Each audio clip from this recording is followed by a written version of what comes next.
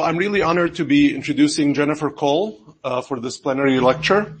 And um, uh, Jennifer graduated uh, from MIT with a dissertation on phonological structure. She's currently a professor of linguistics at Northwestern University. Jennifer's work is on what Dwight Bolinger called the glue of language. Those forces that link many different parts of linguistic expression into one whole, centered on prosody.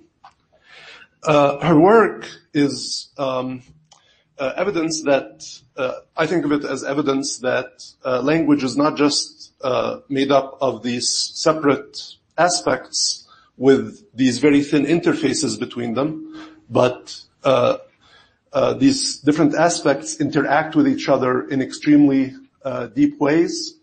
And her work Uh, on the relationship between phonetics and phonology, and phonology and morphology, is great evidence for these uh, uh, for these deep interactions between the different parts of language. Um, again, through prosody, which brings aspects of language from the context of utterance to pragmatics, syntactic phrasing, the phonological structure, as well as the extremely rich um, phonetic expression of this phonological structure.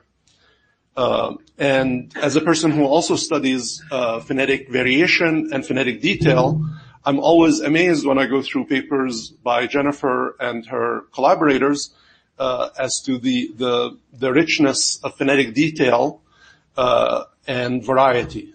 Um, and it's I think very few people have delved into the structure of this variation to the level that she has and her collaborators have.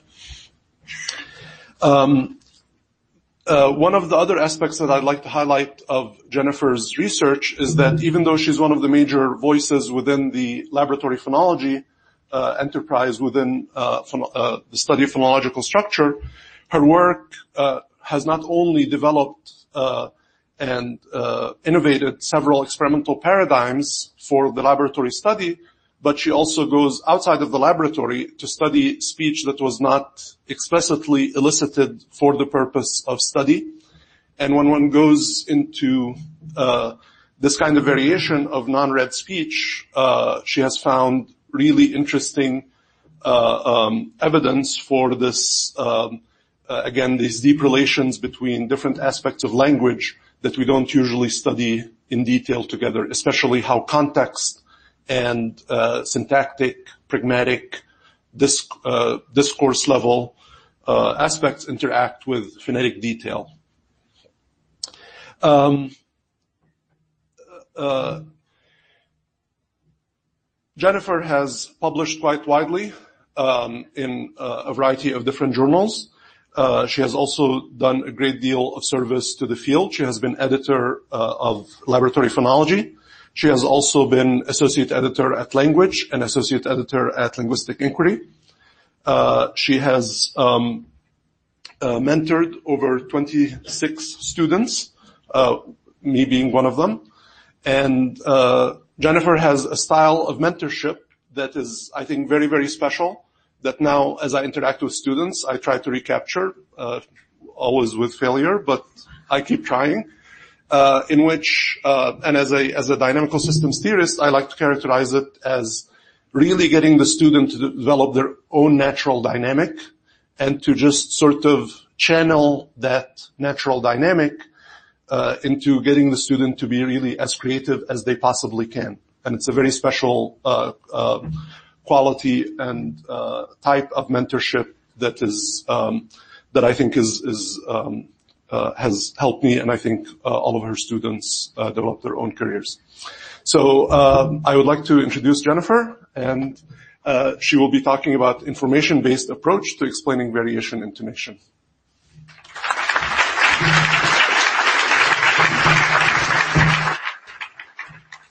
Thank you, Khalil, for that warm welcome. Um, it's uh, he he left out, uh, for me, the most important aspect of my experience in linguistics, and that's it's tremendously fun uh, because of students and because of colleagues. And so thank you all for being here. Um, I need my clicker, and I hope not to wander too far away from the microphone. Wave at me if you can't hear me. Okay. Uh, so, in a spoken utterance, uh, typically, one or more words will stand out as prominent. And prominence is one dimension of prosody, the other dimension being phrasing and the marking of boundaries.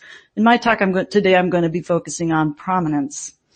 Uh, so let's uh, let's hear let's listen to an example. Um, so on the screen is text from an utterance uh, taken from the Buckeye corpus. This is uh, conversational spontaneous speech, and above it is a pitch uh, track with uh, some of the words superimposed, showing where the pitch goes up and down. And if when we listen to this in just a moment, um, you can listen for where you hear prominence, which words you hear as prominent, uh, and maybe you'll hear prominence on the words that are uh, uh, superimposed on the pitch track, or maybe you'll hear them somewhere else. Okay, please play.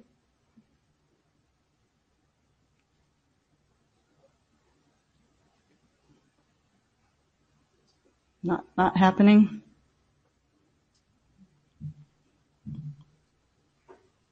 I think the main thing that affects me now, and since I've been home, Okay, so that's illustrative of the kind of speech materials that I've spent a long time investigating, and some of the questions um, that we might ask about prominence with materials like this are, well, within a phrase, which words are going to be prominent, and uh, what type of pitch contour, and more broadly, what other acoustic parameters are involved in the expression of prominence.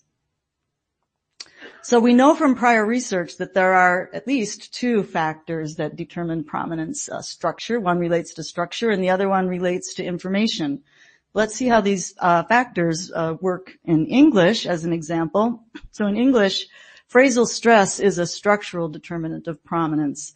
In a neutral discourse context, and I'll say more in just a moment about what that means, um, phrasal stress is assigned to the rightmost stressable word, which we call the nucleus.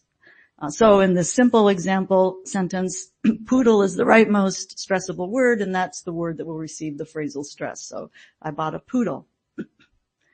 phrasal stress isn't always on the rightmost stressable word in English. It's mobile, and that's because phrasal stress, in addition to having this structural um, determinant, uh, also relates to information. Phrasal stress marks information that's new to the discourse and a phrase final word that's given because it's been mentioned or uh, or its referent is active in the discourse uh, is not marked for phrasal stress. So in this extended example, the la- rightmost stressable word is poodle in red, but because it's been mentioned in the discourse, actually in the same sentence, uh, phrasal stress will not occur on that word, but instead will be retracted to an earlier word. So this sentence would be read, I bought a poodle because I've always wanted a poodle. And it would sound weird for an English speaker to have phrasal stress on the, on the second instance of poodle. I bought a poodle because I've always wanted a poodle. Right. Sounds weird. now phrasal stress may also be avoided on a final word that is lexically or semantically accessible based on the discourse context. So in this example, very similar to the one that I just showed you, the rightmost stressable word is dog, which has not been mentioned in this tiny little discourse, but it's semantically accessible from prior mention of poodle. And so in this sentence, as in the last example, the phrasal stress will be retracted onto an earlier word. I bought a poodle because I've always wanted a dog. Again, it sounds odd to say, I bought a poodle because I've always wanted a dog. In fact, that invites the implicature that poodles aren't dogs, which is weird. Okay. So um, I've already uh, indicated how structure and information are, are, are, both determinants of the location of phrasal stress as a, as a kind of prominence, but information comes uh, to play in another uh, way, and that is that phrasal stress licenses pitch accent. And different kinds of accents can be used according to the information status of a word and, and its focus status uh, rel- relative to salient semantic alternatives. And it's been proposed for English that a word that has phrasal stress and which introduces new information to the discourse will get a pitch accent uh, that's realized with a gently rising pitch. So this is uh, represented with an H star um, feature in a ToBI annotation. Whereas a word with phrasal stress that is contrastively focused uh, will be realized with a steeply rising um, pitch contour, annotated with an L plus H star pitch accent, low to high tone pitch accent in the ToBI notation. And other tonal specifications have been proposed for other um, types of information structure conditions. So let's put this, uh, oh, and in this, in this proposal then, pitch accents are functioning as pragmatic morphemes. The type of pitch accent is signaling the information structure condition of that word. Let's put this together and see how it works with a, another example from English. So consider this sentence, Terry phoned the reporter. So here the word reporter is in the position for phrasal stress. It's the rightmost stressable word. And in the right discourse context, this word may introduce new information. So for example, as an answer to the story, as an answer to the question, how was the story leaked? Terry phoned the reporter. Reporter is new information and it can uh, license then this high pitch accent the same sentence in a different discourse context uh, may receive a different pitch accent. So as an answer to the question, did Terry phone the police? No, Terry phoned the reporter. Okay, now reporter has, is contrastively focused, um, and so it will receive a L plus H star, a different pitch accent. This this uh, focus contrast marking uh, pitch accent L plus H star is not restricted to the rightmost word in a sentence. Any word in a sentence can in principle be focused, and this is one of the hallmarks of English and also German intonation. So in a different discourse context, our same sentence uh, will could have contrastive focus on the subject. So did Rita leak the story? Terry phoned the reporter, and in that case, Terry is the uh, going to be the word receiving the um, the plus H star pitch accent. Okay, so the rest of my talk is divided into two parts. In the first part, I would like to uh, tell you about some empirical investigations that look at the relationship between prominence, pitch accents, and information structure. And in the second part, which is shorter, I'd like to introduce a proposal that I think can make sense of, of some of the messy findings that come about in the first part. So here we go. Uh, I'm going to begin by telling you about uh, a, an experiment in my lab on prosodic expression of information structure in English, then go on to looking at a bunch of other works looking at prosodic expression of information structure in other languages, and then we'll pause and talk a bit about a structural bias regarding the alignment of prosodic and informational prominence before we go on to this part two. So, in an experiment recently done in my lab with uh, Eleanor Chodroff, uh, who presented, by the way, uh, this uh, results from this experiment yesterday. If you were in that session, you get another tour, quicker tour through this these empirical findings today. So we were looking at the prosodic encoding of information structure in English, American English, through a production study where we were, uh, our materials were little stories, micro stories that consisted only of three sentences. And the word that we're interested in uh, is the last word of the last sentence. It's the word robbery in boldface and red on the slide. And we want to know how do speakers, uh, what, what is the prosodic expression of this word in relation to its information structure condition? The information structure condition of the word is established uh, earlier in the story, and in particular in the second sentence of the story. So, the first sentence sets the stage for the story. Last night I attended a neighborhood meeting. The second sentence, sentence sets up the critical information structure condition. Earlier that day, my neighbor witnessed a robbery. The third sentence is our target sentence with our critical word being at the end. My landlord logged the robbery. So here robbery is given because it's been explicitly mentioned in the preceding sentence. Now we have other versions of this story which are the same in the first and third sentence, but differ in the in the second sentence, uh, uh, giving us different information structure conditions for our critical word. So here, the second sentence reads: Several community members reported on recent crimes. Crimes is semantically related to robbery, so robbery becomes accessible in this discourse context. In uh, yet another uh, version of the story, the second sentence introduces no words which are semantically related to our critical word, and so the critical word is discourse new.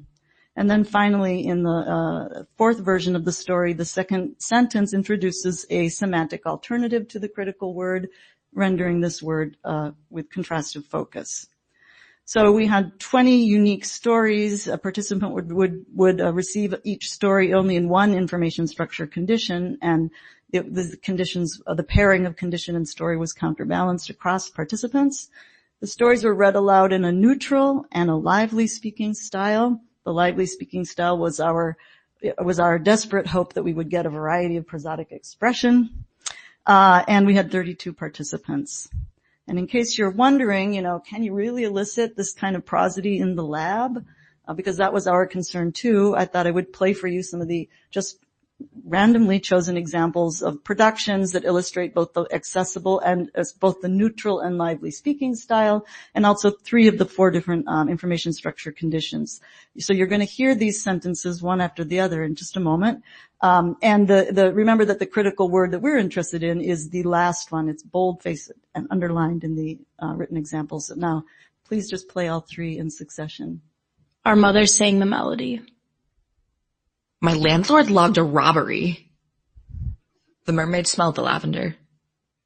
Uh, so a very interesting uh, finding, although really not that surprising, is the prevalence of creaky voice in these productions. Um, which, if you're interested in creaky voice, we're happy to talk to you about that at great length, uh, but I'm not going to say a lot more about it uh, right now. So our predictions for this study were that um, we would get different kinds of pitch accents uh, used depending on the information structure condition, uh, and in particular, with if a, when our critical word was contrastively focused or new to the discourse, we would expect to see either a high pitch accent or a rising pitch accent Whereas when, if the critical word was accessible from the prior context or discourse given, we would expect to have a low pitch accent, maybe uh, expressed through creaky voice, or perhaps an unaccented word. Now there are um, different kinds of pitch accents being mixed together in these two broad category distinctions that we're making. Um, and uh, initially, we had hoped to make more fine-grained distinctions in our labeling of the data, but um, we couldn't support rely, we couldn't obtain uh, reliable distinctions beyond this coarse two-way distinction. So we went with this. Uh, we have acoustic measurements to help us suss out any um, more fine-grained distinctions within within these two categories.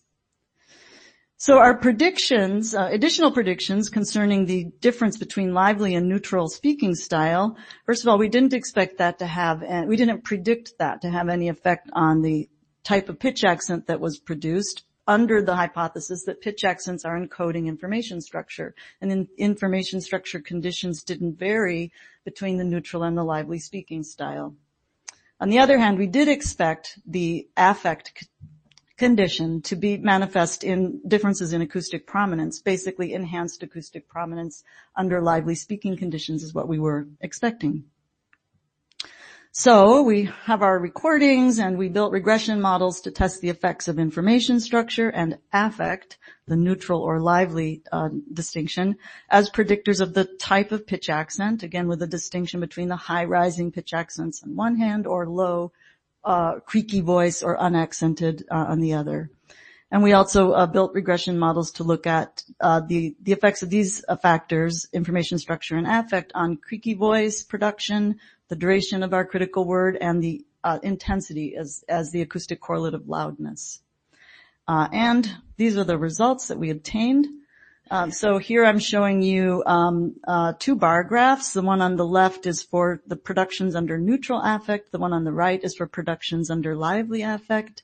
And on the y-axis, we have the four different types of information structure conditions that we were looking at. And the type of pitch accent that we uh, observed is coded in colors. A darker color for the high rising pitch accent and the lighter color for the low or unaccented um, productions. And what you can notice first of all is that the majority of the target words were coded as low or unaccented. Nonetheless, uh, but, but, but, we did find both, both types of pitch accent, the high and the low, occurring in every one of the four information structure categories. This should be a little bit surprising to you. It was a little bit surprising to us. Um, nonetheless, we do find some differences. So the high rising uh, pitch accent is significantly less likely on words that were given, more likely on words that were new, and more likely on words that were contrastive. And the high rising pitch accent was a lot more likely in lively speech. And this effect, the liveliness effect, was larger than the effect of the information structure conditions. Uh, we also saw an effect of information structure on the production of creaky voice, uh, and this is coding words that were uh, that had creaky voice in them anywhere, and words that had no creaky voice or modal voicing. And you can see that most of the words had creaky voicing. Um, but nonetheless, creaky voice was less likely on words that were new and more likely on words that were given. And also, but this is not shown on the graph, the creaky voice was less likely in the lively speaking style and much, much more likely in the neutral speaking style. And we had more occurrences of fully pervasive creaky voice on words that produced in the neutral speaking style, which were also discourse given. Okay, looking at some of the other acoustic correlates of prominence, we found that uh, the duration of the of the word, our duration measure, was shorter for words that were given and lively, uh, longer for words produced in the lively style. The intensity measure showed that words were quieter in the given condition. They were louder a little bit in the contra- uh, contrastive focus condition and louder uh, in the lively speaking style. And again, the effect of lively speaking style was greater than the effect of information structure. So what we've seen, just to sum up quickly, is that the prosodic encoding of information structure is, on the one hand, probabilistic, and on the other hand, gradi- uh, gradient in its acoustic expression. So quite a bit of variation here. I said a moment ago we were surprised, but not really. If we're being really honest, we've actually seen results like this before uh, in our own work and in work of other people. In fact, there's mounting evidence for a probabilistic many-to-many association between pitch accents and information structure from studies looking at read speech and from studies looking at uh, unscripted speech from speech corpora. I'm going to highlight just a couple of these studies just to give you a flavor of the kind of findings that have been reported. So here's a study uh, on German uh, from uh, Doris Mücke and Martine Grice, and they were looking at asking this very question about prosodic and encoding of information structure in German with very short sentences of the sort, Melanie wants to meet Dr. Bobber, but in German. Uh, and these sentences were elicited under different discourse prompts that were presented textually with a question like, does Norbert want to meet Dr. Bobber? In this particular example, the critical word is Dr. Bobber in the position for nuclear, uh, for phrasal stress. In this particular example, example, Dr. Bobber is given because it was mentioned in the prompting question. With the, using different prompting questions, they were able to elicit this same sentence under uh, broad focus, narrow focus, and contrastive focus. So they're looking at what kind of pitch accents do German speakers produce under this, this critical word under the different information structure conditions, very much like the experiment that I shared with you a moment ago on English. They coded their data for three different kinds of pitch accents, and then they looked at the distribution of those accents for words in the four information structure categories. And what they found is that the accent type varies across information structure categories, but in a way that suggests a prominence hierarchy so that the more prominent kind of pitch accent, which would be the L plus H star, the steeply rising pitch accent, is more common in the more uh, informative kind of uh, information structure condition, the contrastive focus, and it's de- it's less common under narrow focus, even less common under broad focus, and they had no occurrences of accented words in the given condition looking at a different study. This is some data from a, a study I did with Suyeon Im and Stefan Baumann. We looked at the relationship between uh, prominence and information structure in spontaneous speech from a TED talk. So this is speech from one speaker, but it's an entire, uh, the entire uh, speech, an entire intact narrative. And we um, looked at all of the content words in this narrative and we uh, assigned each content word uh, uh, a status, an information status. I'm showing you here just the information status labels for the referential givenness. Uh, and then we have a, a, label that I haven't introduced before, which was for na- proper names. And then we had words that were new, given, and accessible. And we coded the data with uh, different pitch accent labels according to the ToBI standard. And that's represented by different colors of the bars. And what you should just see is that each of these bars is very colorful in the, on the gray scale. So all the different kinds of pitch accents are occurring in all of the different kinds of information structure conditions in this corpus. Now these prior studies also show evidence of gradient effects of information structure on acoustic prosodic measures. Uh, the number of studies provide uh, robust evidence of this for English, and there's an interesting uh, quote from Sasha Calhoun's 2012 paper on Australian English where she says, the more phonetically prominent an accent, the more likely a contrastive interpretation. Uh, and uh, I'm going to share with you some really interesting data from a paper by Iris Ouyang and Elsi Kaiser. They were looking at an investigation, uh, individual speaker differences in the prosodic encoding of informativity. And what they found was that many speakers will use the same pitch accent pattern in different focus conditions, but they'll have gradient acoustic distinctions. And I've copied and pasted in a little uh, snippet of the figure from their paper that shows um, uh, the F-zero contour over the word balls, taken from the sentence, they got balls at the sports store, where balls is either, uh, has corrective focus or new information focus, or it's part of a broad focus.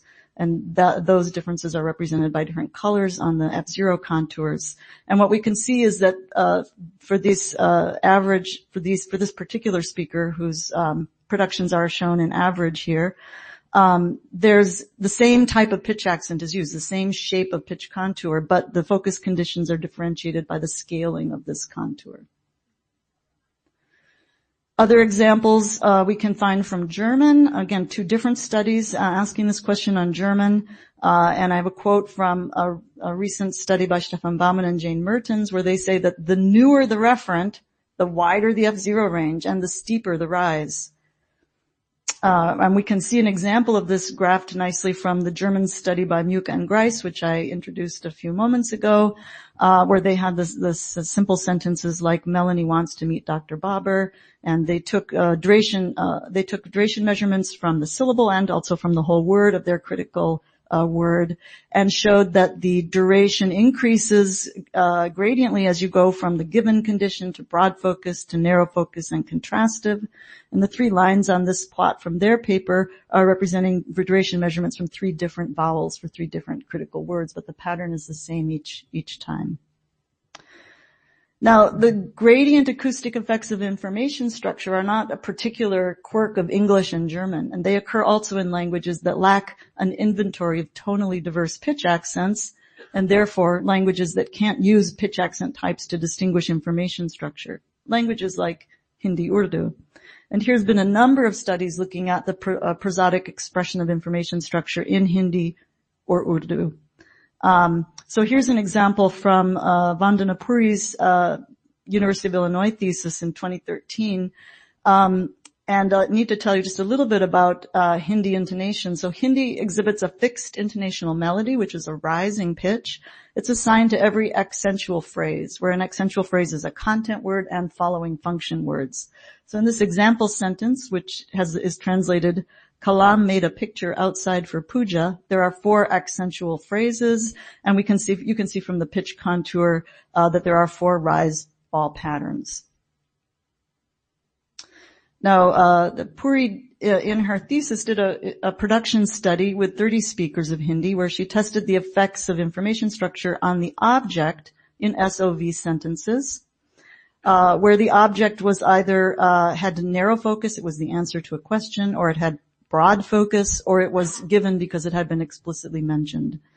And she took um, acoustic measurements of duration, intensity, and F-zero range from the object, and she found that um, among these three measurements, there's a three-way distinction uh, for these three information structure conditions. Um, you get more prosodic enhancement under the uh, narrow focus conditions than compared to the broad focus compared to the given condition. Now, gradient acoustic effects of information structure are also observed in languages that primarily or often use syntax to signal focus, languages like Hungarian, Russian, or Jaminjung. This is a, a short, uh, just a few examples from a long list. a very inter- I recently uh, learned about this very interesting pattern in Jaminjung from a paper by uh, a, a study by Simard and Belkadi, Jaminjung is an Australian Aboriginal language with non-configurational syntax and a topic comment word order. and uh, and Belkadi looked at uh, unscripted story narrations from three speakers with about 400 intonational units.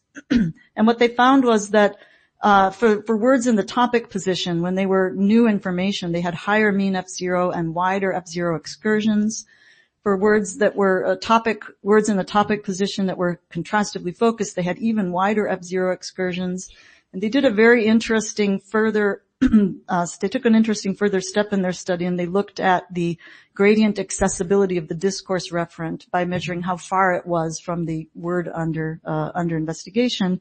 And they found even finer distinctions for the mean F0 of the target word based on the gradient accessibility of the discourse referent, basically how distant it was.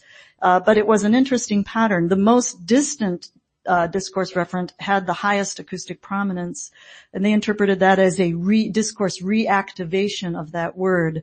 It was even more prominent than a, a word that had new information, uh, and the least prominent were words that had just recently been mentioned. So those were the truly given words. Uh, somewhat different, but findings, but in the same uh, in the same ballpark, came from a study that I did with uh, Tatiana Luchkina on Russian.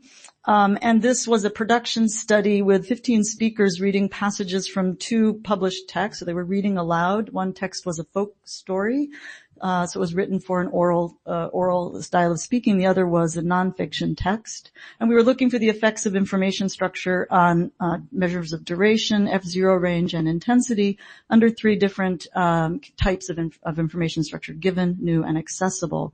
The findings were uh, somewhat surprising because we found that words that were discourse given had the highest profile in their duration and F0 range. Um, this uh, finding, we eventually came to understand that this was actually reflecting a word order effect because these uh, words that were given were most frequently produced in non-canonical fronted positions in sentence structure. Uh, Russian has much more flexibility in sentence structure than does English or German, and uh, word order is uh, very much related to information structure conditions in, in, in Russian. The next two slides have the graphs that show this word order interaction with information structure, and I'm just going to click past them. We don't probably have time to parse out, but if you're interested, I'll be happy to talk about those particular findings later. Okay, so recapping.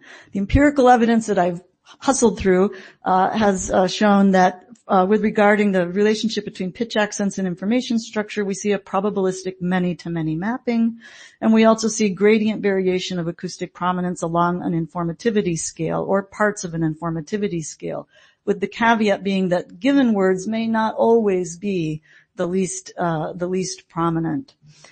Okay, so we could stop here and say, all right, so that's it. There's a probabilistic many-to-many mapping with lots of acoustic variation, but I'm not satisfied with that. I would like to actually just figure out what theory predicts this uh, curious assemblage of empirical findings. But before we can, I can go on to my proposal, I need to make a third observation.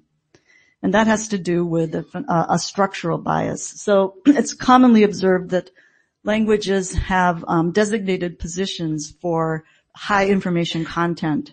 Uh, in English, this position is uh, described as being at the end of the sentence, so this is where new information should occur under given new sequencing or theme rheme sentence structure. I'm going to refer to this position uh, in the next few slides as the high information content position. The actual position can vary from language to language, though bear that in mind. So in English, this high information content position coincides with the position for phrasal stress, a position of structural prominence, and the position that licenses a pitch accent.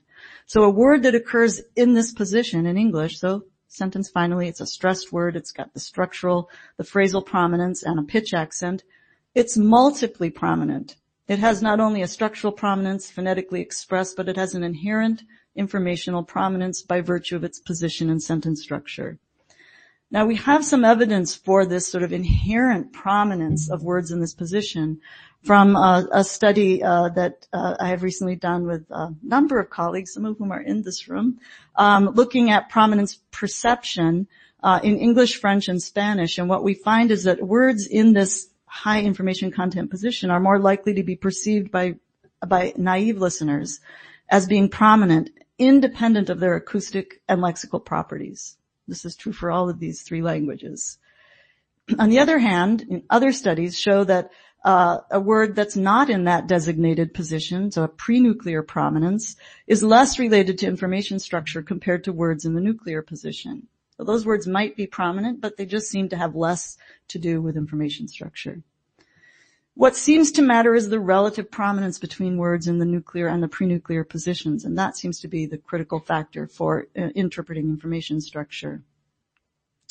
So this structural bias uh, is not a quirk of English or German. It, we can in fact see this in other languages as well, and we can see it in Hindi.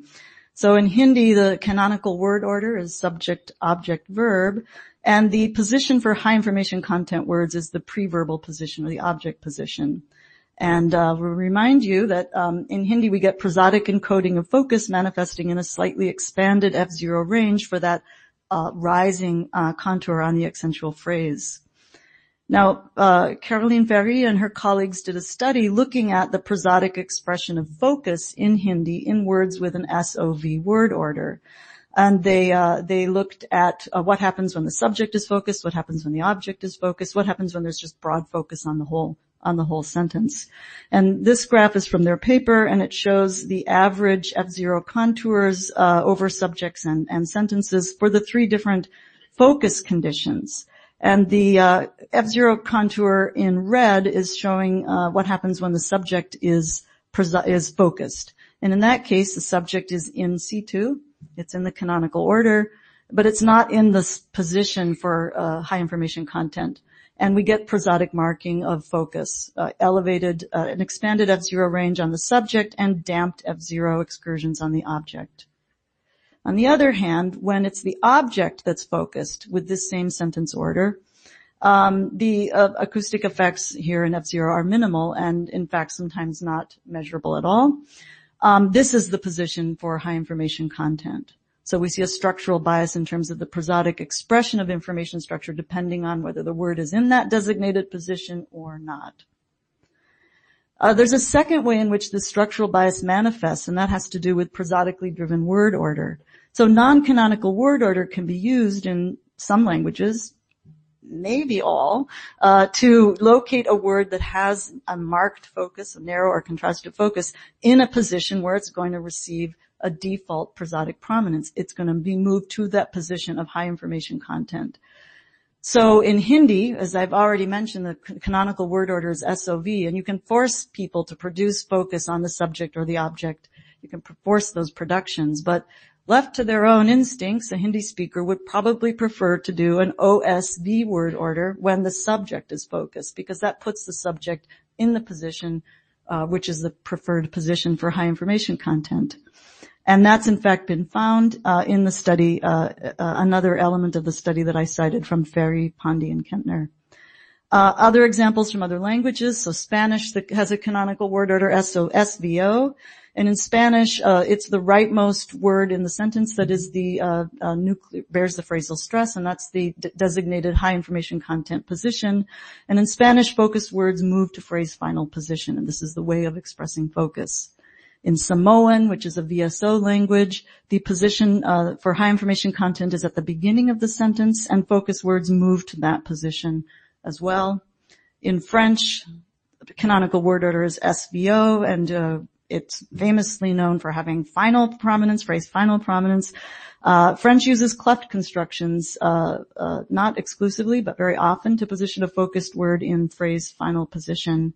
And in Russian, we get a variety of word orders conditioned by information structure, but generally putting um, uh, reactivated topics at the beginning of the sentence, um, putting um, new information also postposed to the end of the sentence, and each having its distinct prosodic signature. Okay, so recapping again, We've seen probabilistic many-to-many mappings between pitch accents and information structure. We've seen gradient variation of acoustic prominence along an informativity scale, and now we've seen a structural bias manifest in uh, the finding that positions where structural and informational prominence align have inherent prominence, and in those positions, prosodic marking of informativity can be minimal. We also see non-canonical word order is used in some languages to locate informative words in positions of prosodic prominence. These findings altogether aren't predicted at all by our existing theories of the interface between prosody and information structure. So we need to take another look. And that's the remaining part of my talk. Then I'll try to uh, introduce a proposal that I think works. We'll talk about it, predictability and informativity, mention conventionalization, and I'm going to talk about subjectivity on the part of the speaker. So I started out this talk with a focus on prominence and information structure, and now I want to suggest that we need to step back from that because information structure on its own both over and under determines variation in prosodic prominence. This is a weak relationship. What's really going on, I think, has more to do with predictability uh, as a broader notion than information structure. So we know from the work of many other people uh, that predictability of a word and its referent influences linguistic expression at the lexical, syntactic, phonological, and phonetic levels. We have uh, very influential proposals uh, by Levy and Jaeger on the uniform information density hypothesis, or by Aylett and Turk on the smooth signal redundancy hypothesis, which spell out this the effects of predictability on uh, on on production.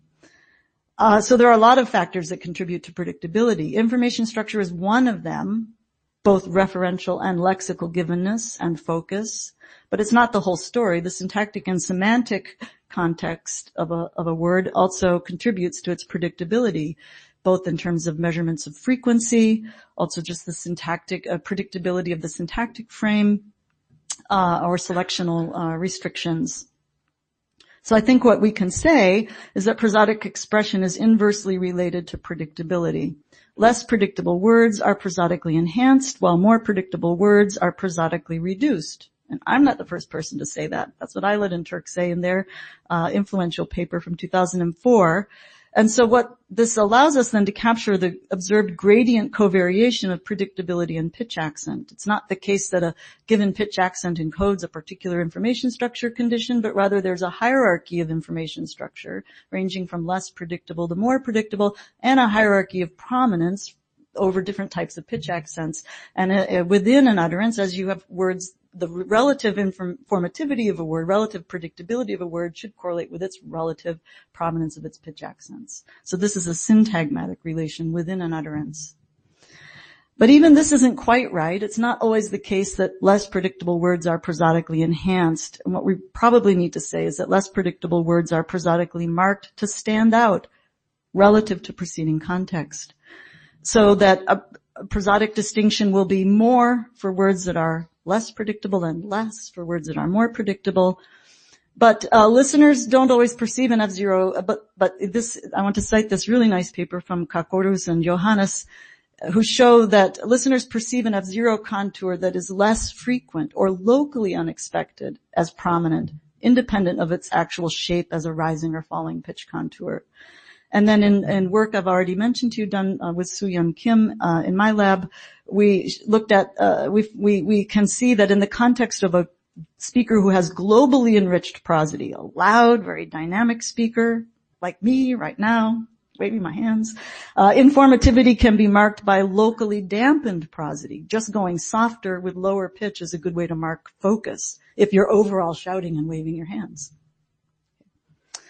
Okay, so, uh, well, this is a nice story. Prominence relates to predictability, but it doesn't get us all the way through the empirical findings that I've shared with you. In particular, it doesn't really help us yet understand the structural bias.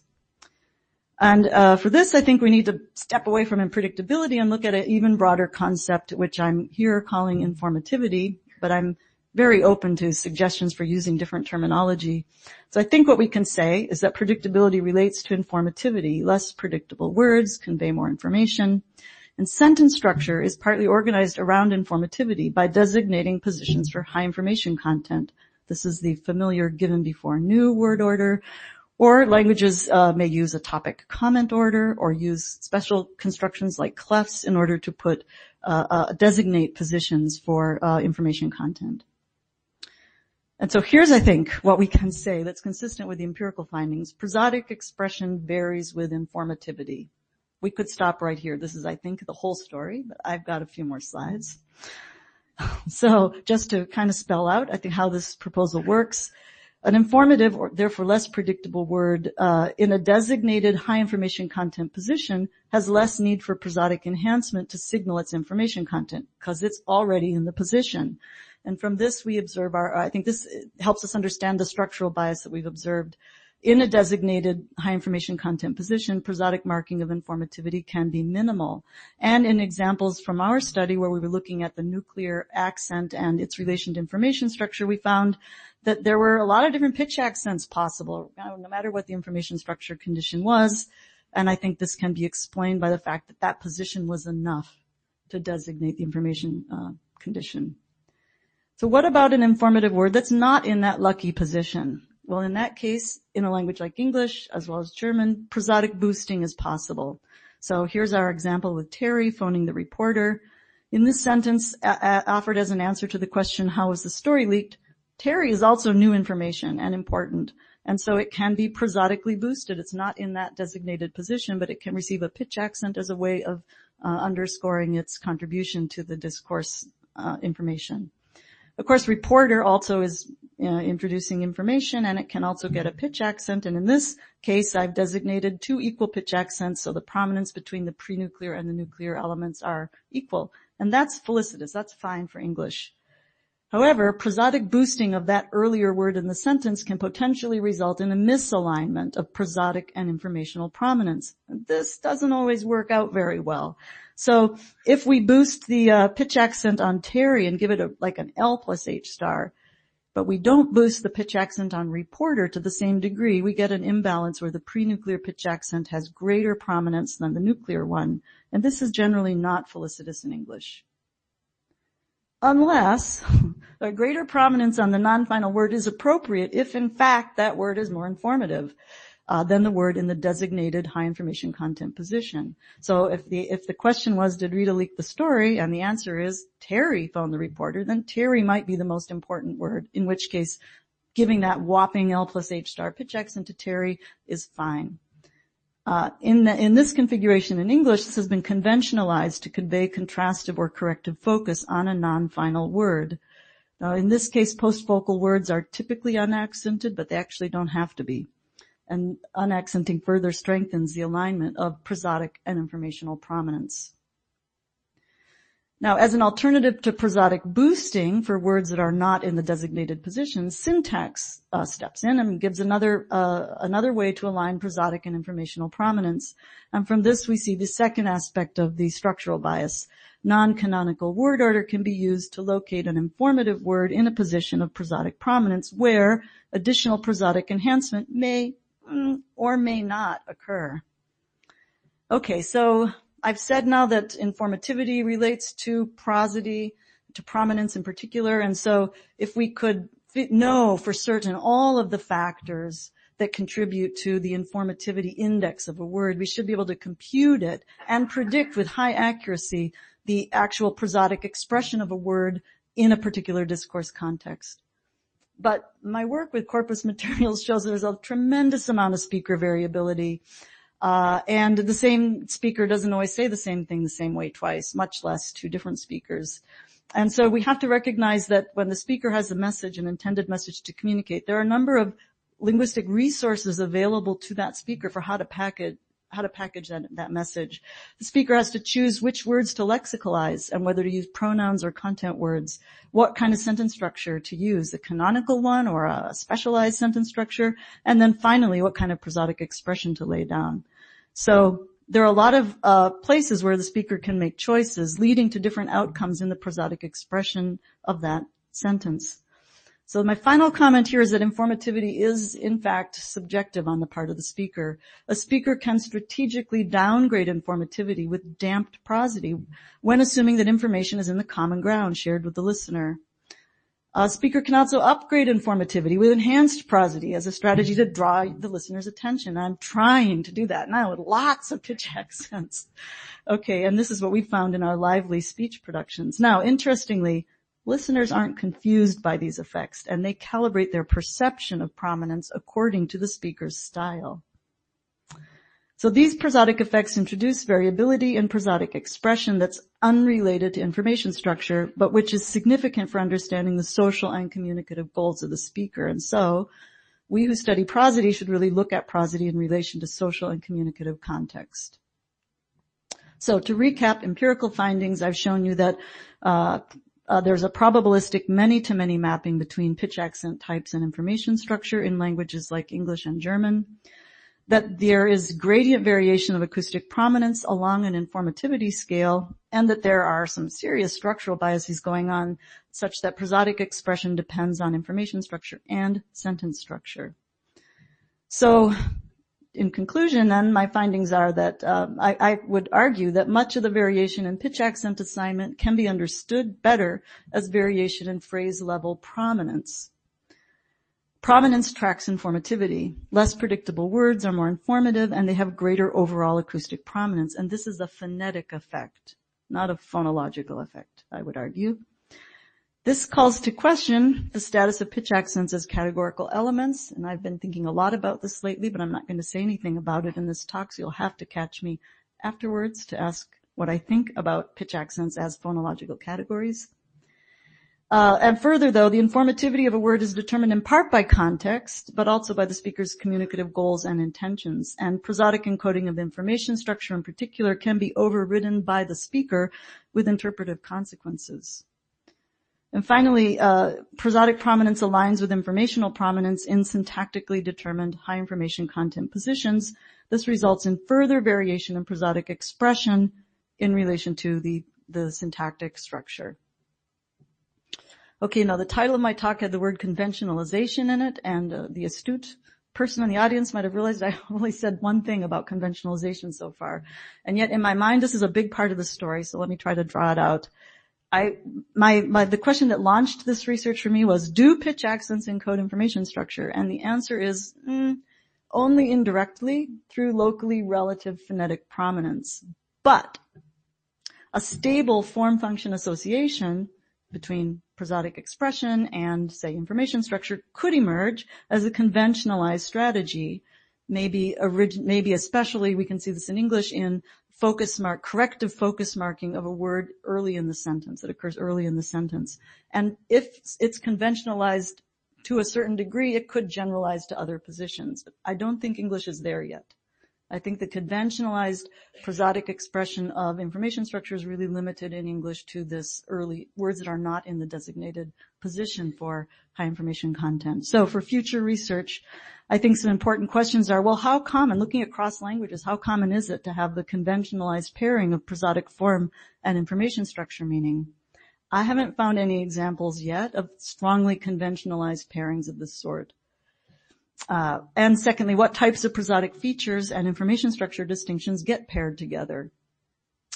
Uh, we'll leave you on those questions, but I need to thank the, all the people who made this work possible, my postdocs Timo Roettger and Eleanor Chodroff, the undergraduates in my lab who did the real heavy lifting with our, uh, with our uh, production study, uh, my collaborators over many years who've uh, really inspired my thinking, and of course, funding sources. So thank you.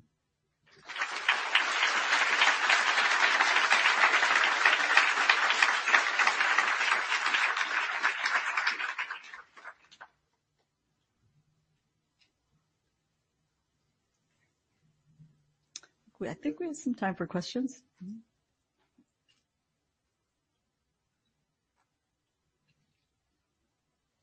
Yes.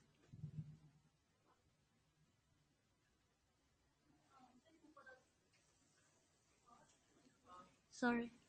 Oh, thank you for the talk, and I think this is fascinating. I'm wondering how your like this um, theory frame speak to the classic prosodic model such as a hat model, which have like initial rising, declination, final lowering, and whether that is a part of your um, bias that, that is you, used here, or you treat that as um, psychological, where people might normalize them in the perception. I'm, I'm just wondering where the position of that.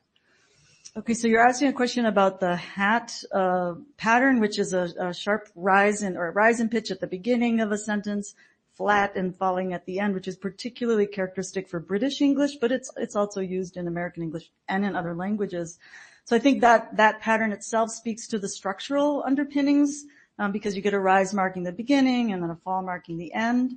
Um, how it relates to information structure is, um, I think, succumbs to the same story that I'm telling here. The use of that hat pattern is not consistent in any particular information structure condition, but it's more prevalent in some conditions than others, and that varies by language. Um, and then you asked about how listeners perceive these things. Um, I think I am asking like, well, I, I think this, um, let me think. I think this model, I see it as more stable than maybe you consider, but, but that kind of, um, shape also occurs in Mandarin and mm-hmm. other languages. And that has some, as I said, psychological, uh, physiological grounds because of the like decline of the, um, I don't know, sub, subglottal pressure and stuff. So I think I'm wondering where does those phonetic effects, um, come in in your, um, in your theory? Because I think you sort of mentioned the, um, the the structure bias bias that kind of decide the default intonation for mm-hmm. like sentences in the language. Right. And um, um, so part of that is saying that this hat model is per, like is predicted by the structure of the language mm-hmm. itself. Mm-hmm. But I'm not sure. Maybe there are other factors mm-hmm. that speak to that default pattern, mm-hmm. and, and I'm wondering what do you think of that? Yeah, I I, I I mean, I guess I would say off the cuff that that uh, that hat pattern as a default pattern could be an example of a conventionalized pattern. I don't know to what extent it pairs that pattern with an information structure condition, but it could be conventionalized with reference to illocutionary force or other other dimensions of meaning, or even to non-linguistic meanings, uh, the speaker's affect or communication style. Um, and I think all of that is possible. Yeah, but is that part of your structure bias? Like, uh, not necessarily. The hat pattern might relate to the structural bias, but wouldn't, we wouldn't have to uh, explain it exhaustively only with reference to the. Okay. Thank you. Great talk, and I will try to be brief. Uh, one of the more, one of the most insightful things, uh, many, uh, among many that you said, uh, was that less predictable words are prosodically marked to stand out relative to preceding context. And to me, this implies a kind of taking of statistics, uh, you, uh, you know, determining some default so you can determine whether there's damping or enhancement, maybe even taking speaker specific statistics. So do you agree that listeners must be taking statistics on prosodic patterns as a means of, means of gauging informativity? Um, and if so, what links do you see uh, to making inroads to um, I mean, coming up with an account for that? Absolutely, Laura. And your, your work has uh, actually informed my thinking on that quite a lot, that the uh, immediately preceding uh, speech context is highly informative, and we know from your work that it, it can lead to categorical distinctions in the interpretation of a particular word. Uh, um, but even broader context, just knowing, being familiar with the speaker or knowing that, oh, this person's standing on a stage giving a lecture, so I should probably calibrate my perception of their prosody relative to that. Um, what the kind the where I would go with this um, uh, with this idea is that if we're trying to characterize the prosodic form of an utterance in a language because we want to investigate it as scientists, um, that we should not do what's conventional in prosodic theory, which is to do a kind of paradigmatic analysis where we say, is this word, is this high or low or L plus H star? But we need to be really doing a syntagmatic annotation. And uh, You've certainly said that, um, and I'm agreeing with you on that point. Yeah. Thank you. Hi. Um, uh, uh, okay, so I have a quick question about the idea that this is probabilistic, which uh, accents occur in which context in some way. Um, in, in, particular, I'm a little bit worried about the the, the premise that what these um, intonational morphemes, as you call them, uh, encode the information structural categories that we've identified. Um, so perhaps some of the problems in saying like, oh, it's probabilistic is a labeling problem on this, on the part of the theoretician. So for example, if you were looking at past tense in English, or ed in English, you'd say, oh, this means past tense. Oh, but you find that sometimes ed doesn't occur in situations that refer to past times, and sometimes you get ed in contexts that are not past time referential. And so it's probabilistic which ones you get in which context. But really it's a problem of what is the meaning of this morpheme that we have called past tense. And so I, just I, wonder if this is a possible way of reanalyzing what we've been what you've been saying as a many-to-many mapping problem, as that we don't understand what the really core what the core meaning of these uh, individual pitch accents are. That's certainly possible that, that our understanding of either the form, the prosodic form, or the information structure meaning is imperfect, and with improved understanding, we might see more system here, more systematicity. But I think, given findings from the highly controlled um, experimental studies, such as we've done and have been done in German, where the discourse context is pretty, I mean, it's explicit, and the same discourse context across items and cross speakers, we're getting uh, or even within speaker, we're getting variable prosodic expression for the same discourse. So, and, and I, the, my reason for showing examples of that from many different studies was to try to dispel the notion that there's going to be an easy fix to understanding this problem, which doesn't uh, deny the possibility that you suggest, but uh, but I think, you know, if we were, even if we were to achieve a much more sophisticated understanding, that that alone wouldn't explain the variability we find in these experimental settings, unless speakers are just not bothering to encode information structure and assigning pitch accents randomly. But that also can't be true because we found there is an ex- prosodic expression of information structure in our materials. It's just kind of messy, but it's there. So they are they are factoring in the information structure conditions. Um, I really found this really very interesting, and I understand that a lot of the corpora that you work with are uh, only acoustic signal and not video signal with acoustic signal. But I wonder if you uh, have considered when you have the opportunity, like with a TED Talk where there's video signal and auditory signal, to consider where the co-speech gestures occur with respect to the prosodic patterns, because I was thinking that the information structure um, messiness, if you knew that the, the person who was speaking was also gesturing along with what they were saying, they the co-speech gestures may be offloading some of the work that the prosodic um, pitch accents are doing. Mm-hmm. Yeah, that's an excellent um, suggestion. Um, I have in fact uh, collected a corpus, an audio uh, visual corpus of spontaneous um, task-oriented speech with uh, Suyeon Im, who's here, and we uh, um, did a gesture annotation uh, but we haven't analyzed yet. We're still busy working out the prosody on on that on those materials, but we, we have the intention of also analyzing the gesture. And as you're correct to point out that for the TED Talk, uh, if we undertake the gestural annotation, we would have the similar opportunity. And I would love to hear from anybody who's come up with a um, quick, quicker way of doing gesture annotation. Me too. Uh, Thank you. Jason. Okay. Um, so we were kind of invited to ask you about the phonological status of pitch accents. And so uh, my question is related to that.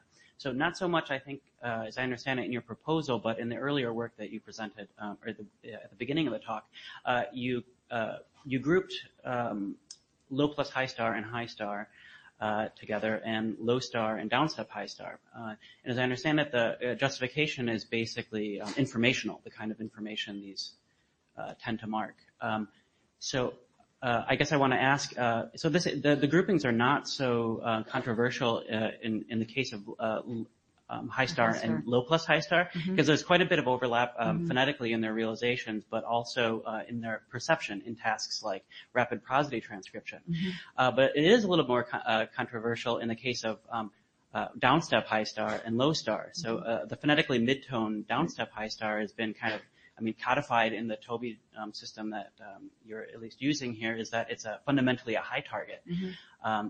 Mm-hmm. Um, so I wonder if there's uh, other kinds of evidence, like from rapid prosody transcription, that in fact the downstep high star does seem to cluster mm-hmm. uh, with the low target.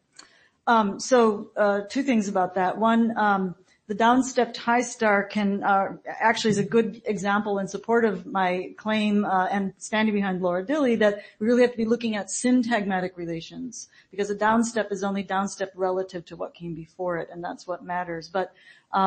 There, our reason for uh, collapsing uh, downstepped high and low really had more to do with the fact that in this in that particular experiment, our critical word was at the end of the story, and there was so much creaky voice that we didn't have enough tokens to feel very confident about making finer grain distinctions and we weren't able to achieve reliability with our annotators when we tried. So we backed off from that. That was more um, a pragmatic choice, uh, just a logistic choice with respect to that experiment. We're actually running a follow-up experiment uh, where we've uh, looking at nuclear accents, but we've moved it away from the end of the utterance by adding sort of semantically vacuous relative clause after it. Um, and we're hoping to be able to tease out maybe some more more pitch distinctions if, they exist in that. So I'm I'm open to that possibility. Hi. Uh, oh, good. Uh, thank you. I'm really excited to see all this reappraisal of information structure categories happening. It's great. I'm, I'm curious if you think there's a role for the following context in these kinds of experiments. I've noticed that like, especially contrastive topic prosody is much better if you're, uh, if you know that you're going to do something next in the conversation. Um, that's a great uh, question. Um, we, I, I, have to just confess that I haven't looked at all at following context. Um, we've been very preoccupied with trying to establish whether nuclear accents are the same or different from pre-nuclear accents in English and German and Spanish, French. But we haven't really looked at what the following material does, but it's definitely um, a, a necessary. I agree. I, I, would take your question as a challenge, though, and I take it. Thanks. Um, do you find um, instances where uh, the there is definitely a prosodic, uh, you know, um, what's the opposite of dampening? A prosodic enhancement. Enhancement um, where in an unexpected place where there is uh, a uh, there is less information structure, and how does this uh, theory account for that sort of variation that you uh, yeah, I've got a this long uh, notebook where I mark every time I hear a pitch accent in an unexpected place. Um, um, it happens. Um, a lot of you can get pitch accents on on articles and on prepositions and discourse markers and all kinds of dangly little bits of, of speech. Um, oftentimes they, uh, to me sound like, uh, a focus, a focus marking, that they're focused. You know, it is possible in the right context to want to focus, um, a grammatical word. Um, and that's what they sound like. But there are other occurrences where it doesn't seem like there's focus going on in the context based on the context and yet they still occur. Um, and yeah, so th- that's a real phenomenon and has not been studied.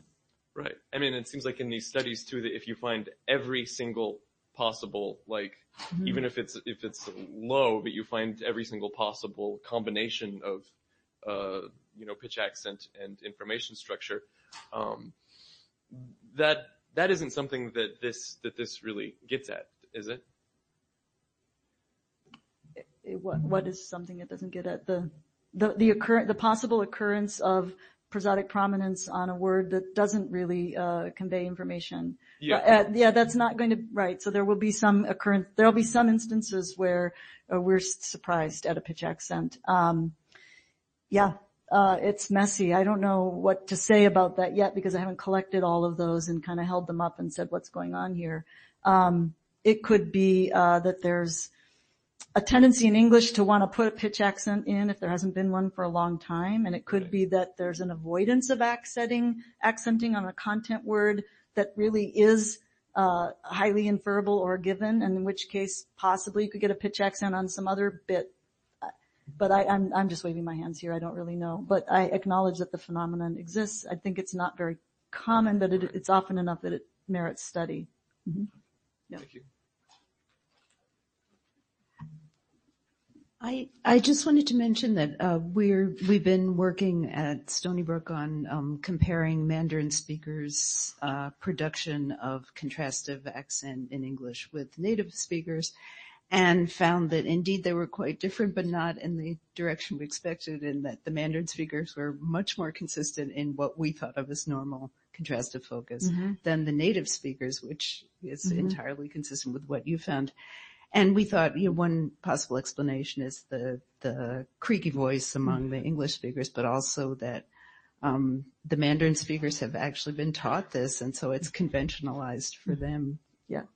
We, we found similar things and also in our studies on uh, prominence perception that um, English, second language speakers of English, uh, so who, who are Japanese speakers, uh, are uh, more consistent in hearing prominence on in relation to information structure than English speakers are. Uh, with focus, with regard focus in particular. We, we didn't quite find that, but uh, Ah. yeah.